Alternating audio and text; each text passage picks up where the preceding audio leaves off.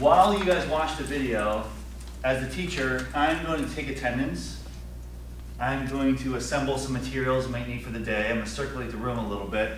I'm going to facilitate focus by pausing the video maybe a couple of times and asking some questions just to keep everybody back in. It's eight minutes, so maybe two or three minutes tops, and then I'm going to pause it, ask a question quickly, so we bring everybody back in, and then I'll let it go again, and maybe a third time to get through the rest of it. I'm also going to manage behavior because when you're doing this kind of thing, most kids will probably be okay with going along with this because they're actively taking notes.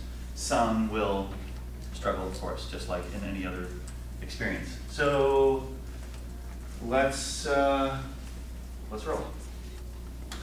Let's take a look at velocity, acceleration, and momentum and how they tie back to Newton's first law, which has to do with force and motion.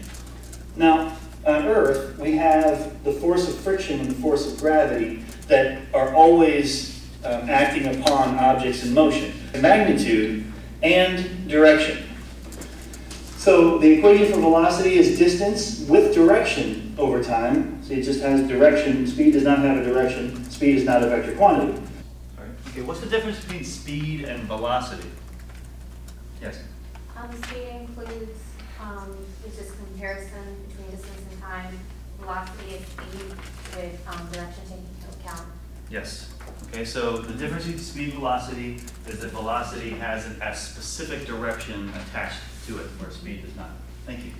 Very fast, that is going to probably go through me. Um, probably won't survive that one. So momentum is mass and velocity together. It will smash through the wall and actually barely even slow down and just keep on going.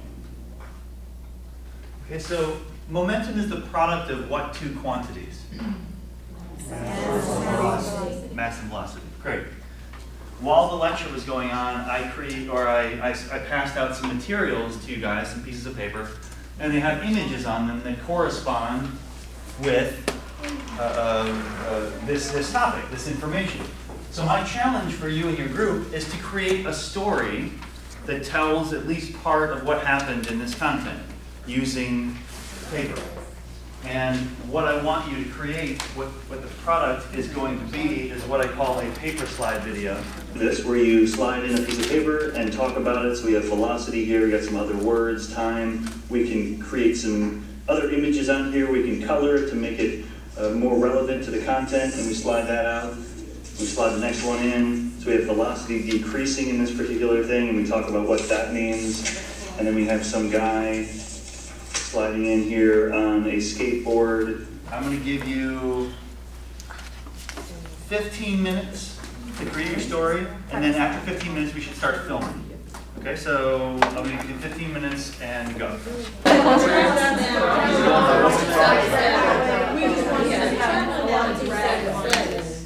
Or you can try More mass, more friction.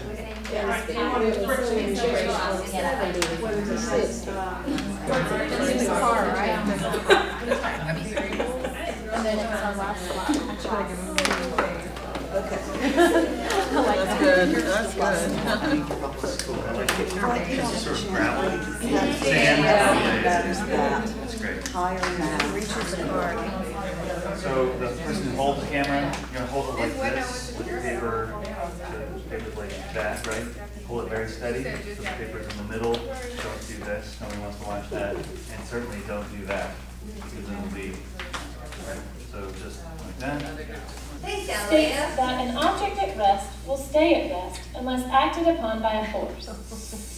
He goes on by saying that an object in motion at constant velocity will stay in motion unless acted upon by a force. Does this look familiar? You're traveling along the highway and are reminded to follow the speed limit.